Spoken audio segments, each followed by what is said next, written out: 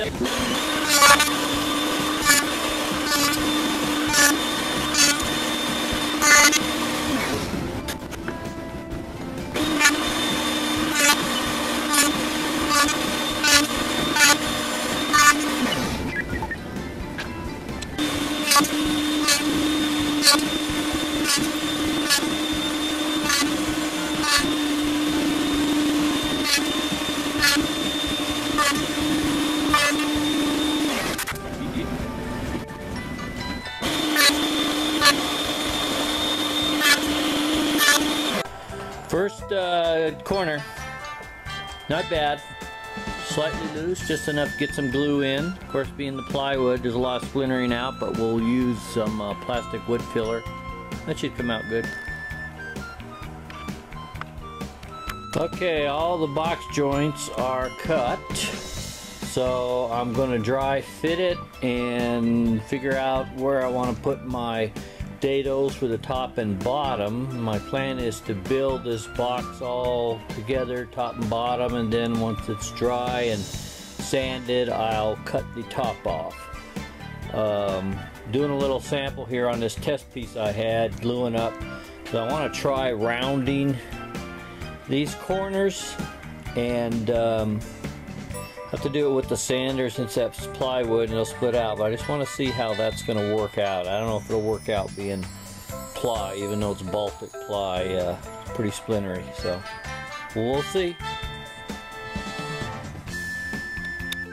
Okay there's the dry fit. Just got it clamped together there no glue.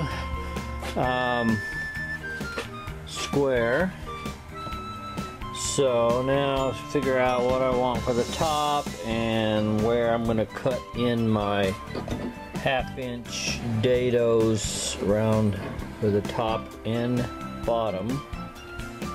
And then pull it apart, cut those pieces off of that big sheet of ply over there.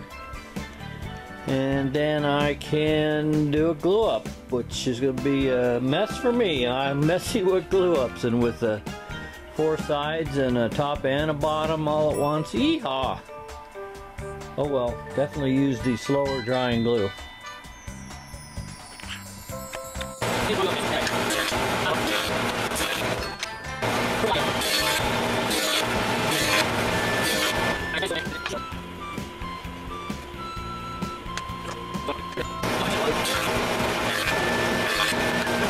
Okay, got a dry fit back up. Got it clamped on here just to hold it tight. Got square, it's very square. Now I'm going to measure for the lid and the bottom in here. In the top. And get those cut. Dry fit again then, and if it fits good, uh, glue up and then after it's glued up and I get it all sandy sanded and puttied on the corner or whatever get it looking good then I'll put it on the table saw and cut my lid off probably about an inch down. So here we go